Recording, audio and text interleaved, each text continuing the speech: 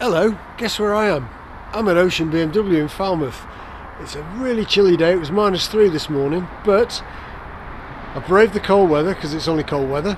And what I'm going to do today, I'm going to take this little beastie out, which is the F850 GS, and uh, take you for a little ride and see what we think of it. Here is BMW's F850, the GS, or whatever they want to call it. Um, just going to take it out for a quick ride. In, initial impressions are I really like it. Keyless start.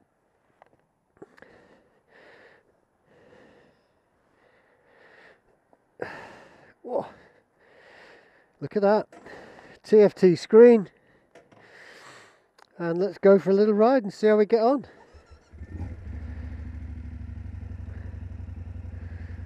Doesn't that sound lovely?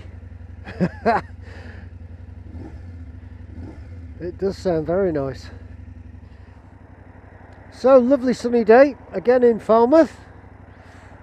And um, taking this bike out for a ride. I've been waiting to ride this bike for a long time. I love the 800s. I love the GS, the uh, F800 GS and the Adventure.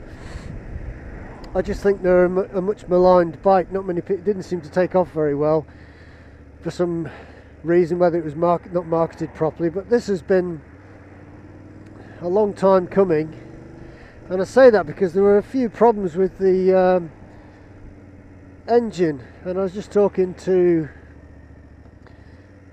the guys at Ocean BMW in Falmouth who've lent me the bike for the day and they were saying the engine was really rattly apparently it's being built in uh, China now I think as most things are. And they had a few issues with it. They weren't happy with the reliability I believe so they put the bike on hold which was um, a bit of a nightmare for people who'd already put deposits down to buy bikes and and all that kind of stuff and they had to wait about six months I think some people. But uh, I believe BMW loaned bikes to people in the interim, which was uh, okay. But anyway, here we are on this. It's uh, it actually rides a bit like a V twin, really, although it's not a V. It's quite high and up front. It reminds me of the uh, Africa Twin. And I suppose, really, as an 850 up against an Africa Twin, which is a thousand, they're probably possibly in the same category. I'm not sure how um, how they'll compare price-wise at the moment, but um, this is I quite like this quite a lot, and I've only just ridden it about half a mile. I really do uh, I do like it. It's a bit bouncy on the suspension. It's got a 21-inch front tyre, uh, front wheel, which is obviously uh, how it's aimed on an off-road type thing although I would suggest that most people don't take them off-road. You know historically GSs and most adventure type bikes are used for touring. Um, that's just the way it is. But TFT screen very small uh, screen for protection. In front of me switch gear is the same on most BMW bikes now. It's got this uh, little jockey button, menu buttons and things like that. We'll talk about that in a little while. How does it feel? It feels very light. I mean, it's an 850, so it should be quite heavy, or you would imagine it would be heavy, but um, this feels really quite light and it's quite bouncy on the suspension at the front. As you stop, you can feel it dipping. Now, I, I might just be feeling that a little bit more because my GS obviously doesn't dive like because of the telelever lever suspension they have. But it's uh, it sounds lovely. But just because it sounds nice doesn't mean it is nice. So I think the tank is about 18 19 litres which would be good for 200 odd miles. Uh, the seat feels quite hard but again you know I've just come off another bike so I don't think it's uncomfortable. It's a really nice riding position. Same upright stance that you get on an any any adventure type bike. The foot pegs are in a good position. It feels really comfortable, and um, the actual seat itself is uh, very comfortable uh, in as much as you feel like you've been sat in a, a, a quite um, a dominating position if that makes sense. The if I'm sliding up the seat the rider's seat it's like it's got two positions. There's one where you're quite far back from from the tank and there's another where just the one I sort of slipped into naturally was to sit right up towards the tank and quite, you can quite hug it quite tightly with your knees if that makes sense. But uh, it's very nice. I do like it. Now you can get luggage for this. It's the BMW plastic box luggage. I don't they've got a name for it I'm sure. And the GS when it comes out later this year will have um, GS Adventure sorry will have aluminium boxes. It's 95 brake horsepower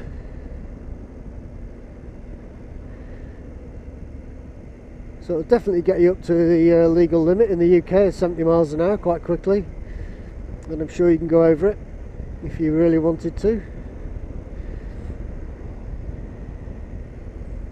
Mirrors are standard BMW mirrors that they're putting on all their bikes particularly these type at, uh, at the moment.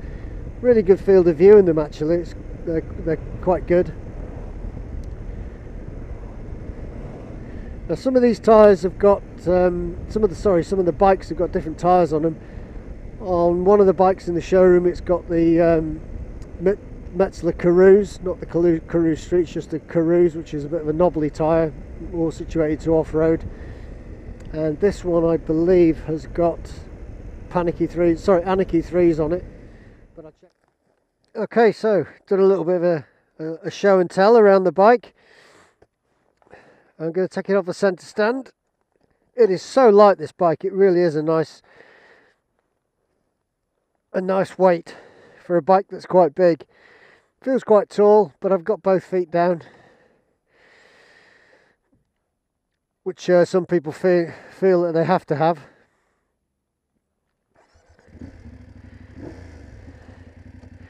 And off we go for a little ride. Bit of off-roading looking a car park like this.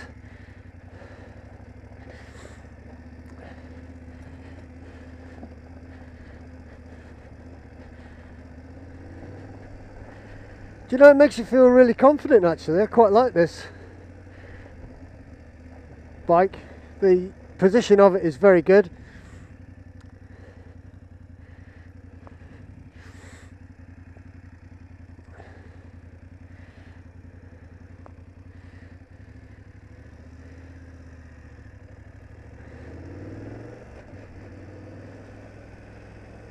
This one has a quick shifter fitted to it.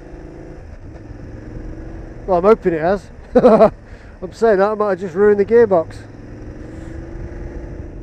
But it's very smooth. I do like it. If I was to make a choice, and this is probably very controversial to say this, if I was to make a choice between an Africa Twin or this, do you know I think I'd go for this? And I've been raving on about the Africa Twin because it was um, a dream bike of mine when I was a lot younger. And I'm thinking oh you know could I do it? Could I buy one? Apart from the chain issue which I know everyone hates but I think this is possibly a better option than the Africa Twin.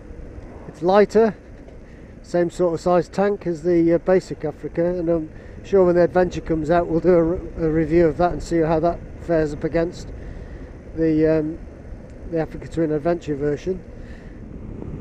So we go, we're in um, 40 miles an hour now, 5,000 RPM in second.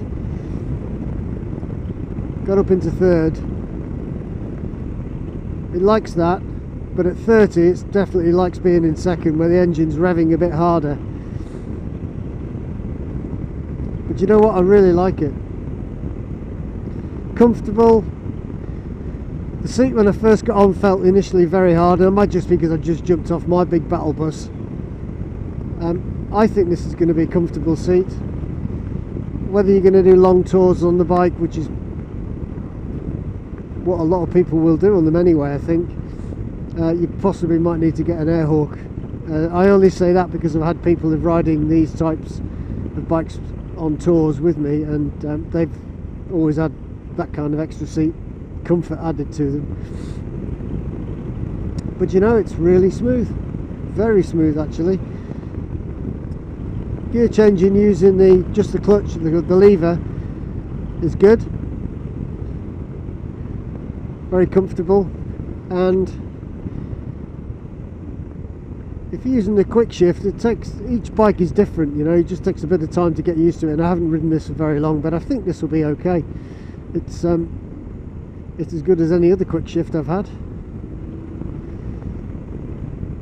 No vibration to speak of through the handlebars. You know I'm only doing 40 at the moment.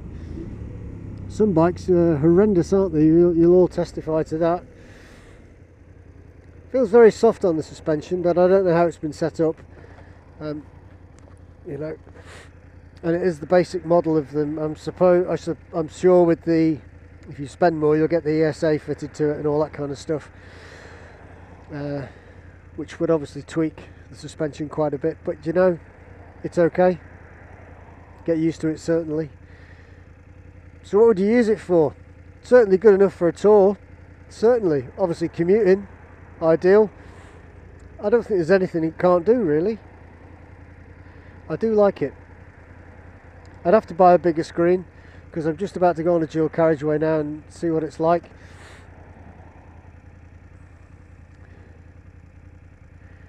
But I would imagine you'd need just a slightly bigger screen. We're going to have to change our route I think if all these, these roadworks continue. Our little test route.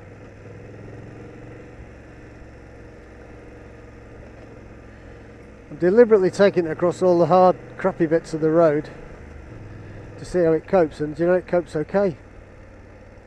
Some bikes like it's like riding over blocks, isn't it? This is uh, managing some of the bigger potholes. Well, okay, as I suspected, once you got up to um, bit of speed, I got up to 60 miles an hour there. Because of the small screen, you do feel the pressure on your chest. And so you'd need, if you're going to do long tours, you need a better uh, screen to fit on this, I think. But that said, it's you know I've ridden worse bikes. If that's my only complaint about it, I think that's doing pretty well. And it's not a complaint; it's just an observation. So I really like the bike. Smooth, comfortable, would I buy one? Yes, definitely. And I think that's uh, that's a pretty good indication, not just because I say I want to buy it, but um, if you get off a bike smiling and go, oh I really like that, that's a good thing.